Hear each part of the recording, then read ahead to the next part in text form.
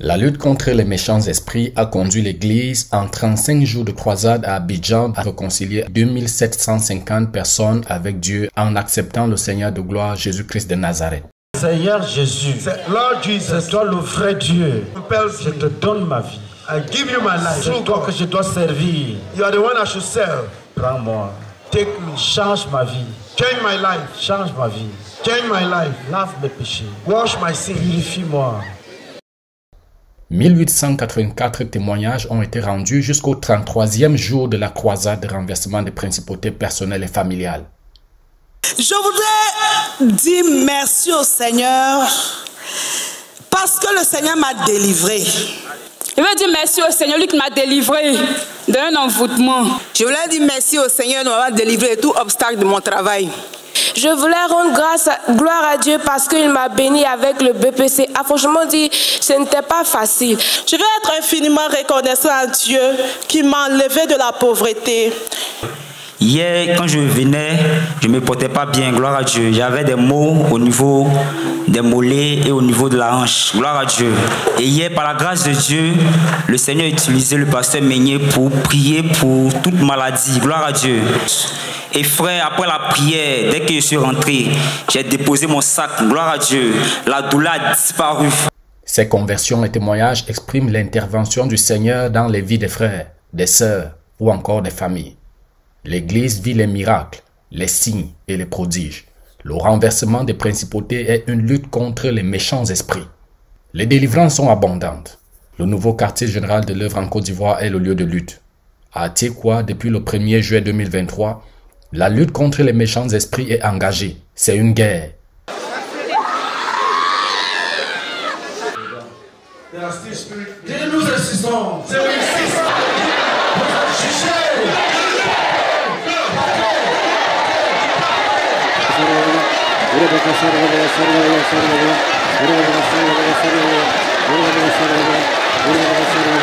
Un combat spirituel. Le ministre de l'Évangile proclame la parole de Dieu. Il parle. Il ordonne. Par les paroles, les méchants esprits sortent. En aucun moment, le prédicateur n'a posé la main sur une seule personne. Mais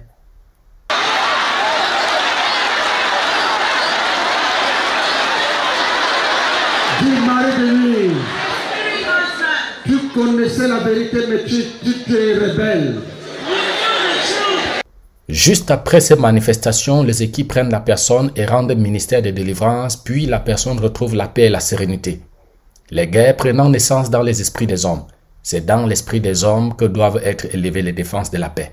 La seule vraie paix que Jésus-Christ de Nazareth donne à ceux qui l'ont accepté. Par l'autorité que Dieu donne au corps de Christ, l'Église agit et Dieu opère les miracles. Je chasse tous les esprits qui m'ont suivi à de ma vie. De ma vie. Dieu conduit ses luttes au moyen de l'Église. Par la foi, la victoire est obtenue. Les témoignages de délivrance sont palpables. Par la parole, le prédicateur, le pasteur Boniface Meunier, annonce les oracles célestes.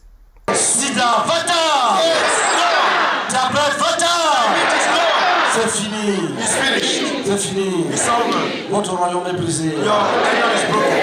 L'évangile est prêché. Le témoignage de Jésus est rendu. Grâce à cette bonne nouvelle de Jésus, les âmes sont sauvées. Les envoûtés sont désenvoûtés. Les oppressés et les captifs sont libérés. Une solution qui est d'engager l'Église dans ses responsabilités. Dans son livre Jésus-Christ libère les captifs, l'écrivain Boniface Meunier, pasteur missionnaire, relève l'enjeu que l'Église a de prendre ses responsabilités de mener le combat spirituel. L'Église a la responsabilité d'exercer l'autorité au nom de Jésus dans sa lutte contre les méchants esprits. C'est ce que font les frères pendant ces 40 jours de croisade.